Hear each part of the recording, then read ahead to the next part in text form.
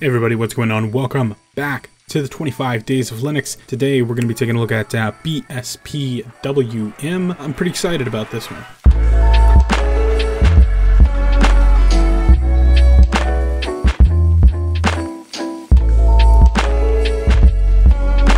First of all, we need whiskey. This is the uh, Elijah Craig small batch, uh, very reliably good bourbon, which I had to go and pick up today because uh, all I had left was scotch. So, uh, BSPWM, much like the awesome window manager which I'm using right here, is, well, a window manager, but it does function quite a bit differently than awesome window manager and DWM and a lot of the other window managers that I've used in the past, in that uh, it's sort of a manual tiling window manager.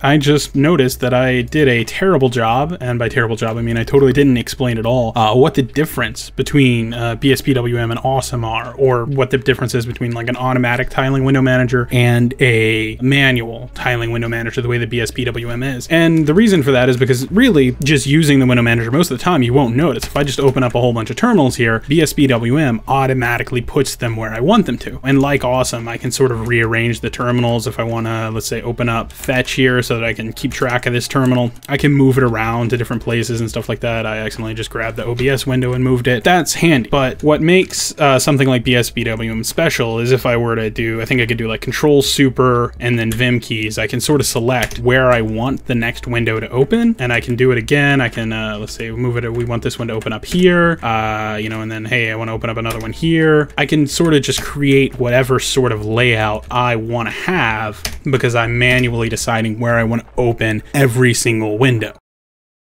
Two great things about BSPWM. One, it functions differently, so I'm inherently interested in it. And two, it is incredibly minimal, which is great. Awesome is a great window manager, but uh, it also comes with most of the stuff that you need to use it built in. It has notifications all set up for you, key bindings all set up for you, has a pretty solid config out of the box, even has ways to set the wallpaper for you built into the box. It has an answer for a lot of stuff that maybe you don't want an answer for. So I, I don't know. We'll stop screwing around here. I'm pretty excited to get into this. So the first thing we need to do, of course, is just install BSPWM. Good news there. It's uh, super well known, super familiar, so it should be in just about any package manager you want to use. Uh, in our case, it's going to be sudo pacman-s BSPWM.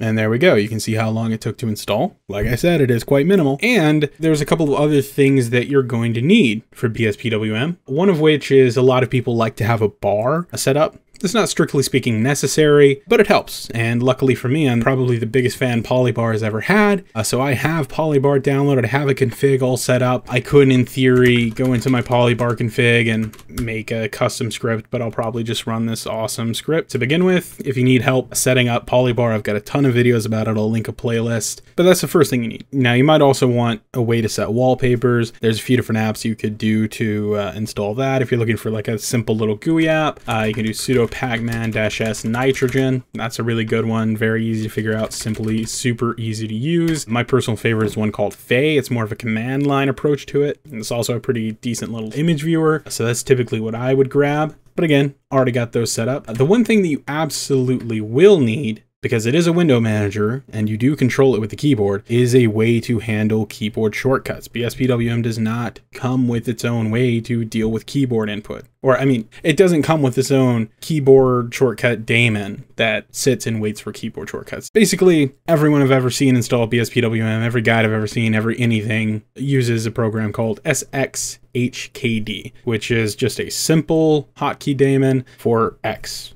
So you can do sudo pacman dash s sxhkd.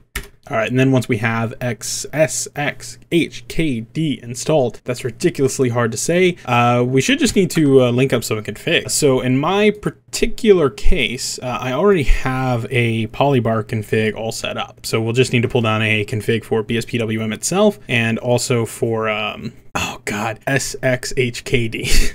Uh, so actually all of these are going to be in the config folder, which is just, you know, home slash dot config. And uh, then what we should be able to do is make a directory called bspwm and make another directory sxhkd. We can copy from slash user share docs And if we go into this BSPWM folder, there's a folder called examples. And if I hit tab here, you can see the files in there. There is a sample BSPWMRC, which is what we're really after. But importantly, there's also a sample SXHKDRC, which is going to include all the key bindings that we need to work with BSPWM automatically already out of the box, set up, ready to go. So we're going to pull the BSPWMRC and we're going to want to put it into the BSPWM folder. And then we're going to run that same command again, but we're going to pull the SXH, SXHKDRC and put it into the SXHKD folder. I, I, guess what we should do in theory is use a text editor. I'm going to use Vim and go into config sxhkd and into that config file. And uh, really what we're going to want to look for is where it's launching a terminal, which, oh, it's right up here at the top. That seems really important. Uh, we're going to want to make sure that it's able to launch a terminal that we actually have installed. So I'll change this to Alacritty or Kitty or something. Oh, we'll do Kitty. Why not? And it also already has a D menu keyboard shortcut already set up too. So as long as those two things are ready to go, you can pretty easily work your way around a window manager. Maybe it won't be a super clean setup and maybe it won't work as smoothly as you could, but as long as you can get a terminal open, you can make changes to the configs when you need to, and as long as you have some sort of application launcher, you can really easily launch app. You don't even really need the application launcher, you can launch every app in the terminal, but those two things are gonna make using this a whole lot easier. So let's also just pop into the BSPWM RC real quick and see what this looks like. Oh shit. Okay, cool. So this is uh, just a shell script, which makes a lot of sense from what I've seen now. Uh, I was unaware that the RC here was literally just a shell script, but there's a few things it is setting up for us. It's setting up the tags on our windows. By default, it does set a window gap, which is kind of cool. I'll up it a little bit, and uh, I'll turn the borders off for the windows. That looks good. And then what we need to do is auto start some apps, which because this is a shell script is super easy. Just so we have an example, I'll go ahead and open open up my config for awesome here so that we can see what I have automatically starting up. This is sort of my auto start for awesome. So what we could do in here is uh, sort of just copy over uh, all the things that are going to be necessary. So picom, strictly speaking, not necessary, but that's going to be helpful. Uh, we're going to do uh, picom ampersand, just because this is a shell script, we have to add that ampersand to tell it to go ahead and launch the next thing. And then I'll also have it run feh as well. And then all we need to do is link to Polybar, which admittedly is a little bit weird, but hopefully what we should be able to do is I'm going to, in the description, leave a link to somebody else's config that I happen to find that was pretty handy to this loop that somebody set up, or if else statement, not really a loop, that is basically meant to launch Polybar on all of the monitors that are running on your system at the moment. Uh, we just need to actually slightly rename the location of the um, grips there just to make sure that we know what's going on. And then I don't know if we're like necessarily just super ready to go ahead and launch, but I'm ready to jump over there and see what happens. So final step, one more little thing here. We're gonna go into the xinitrc. If I have one on my system, I don't. Uh, so you're gonna touch, create a new file called xinitrc. Inside of that, what you should need to put is exec bspwm. Uh, and then whenever you get out to the TTY, whenever you exit your window manager, whatever, you would just run like start X to um, start BSPWM. So let's see if it works. Okay, so here we go. Uh, this is just as BSPWM launched. The way that I set up, didn't touch anything, just came over to the second screen and opened up OBS. Uh, so, uh, assuming we set up everything correctly, uh, Super Enter uh, should open up a terminal, which good. Uh, this is Alacritty here, or well, no, this is actually Kitty here. If we open up another window, you can see it actually does automatically do a lot of the tiling for us. It uses this sort of spirally layout by default.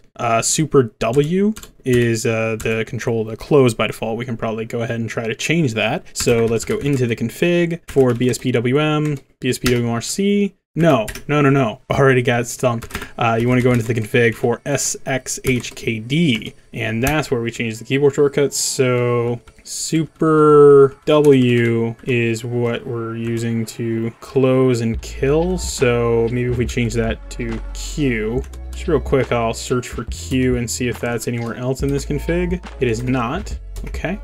And then super escape should reload our key binding. So if we go ahead and try to open up a new window and then super Q, Boom, that's closing it now. I was trying to think of a change I could make to the BS, the actual BSPWM config to try and reload that and see how smoothly that goes because that's it's always one of the things that I like about window manager. Some of them, you know, DWM for example, you have to rebuild and reload in order for changes to take place. And that's not as complicated as it sounds. You actually can still have applications open. I can do a screen recording, rebuilding the app and reloading into that new build multiple times throughout the situation. It's not as complicated as it is, but I always just like to see how smoothly that goes.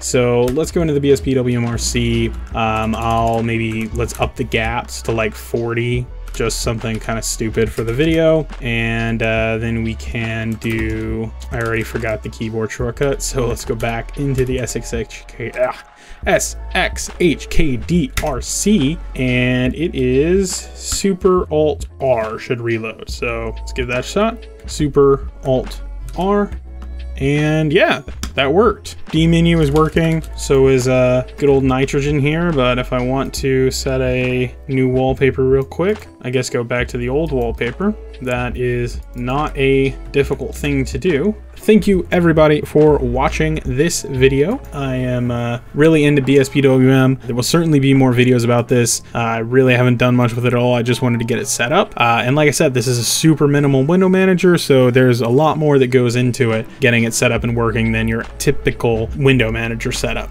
So, uh, if you have any things you want to see along these lines, feel free to drop it in the comments. May or may not get to it by the end of December, but certainly we'll we'll talk about it at some point. Uh, but that is going to be it for this video. Thank you everybody for watching, and I will see you in the next one.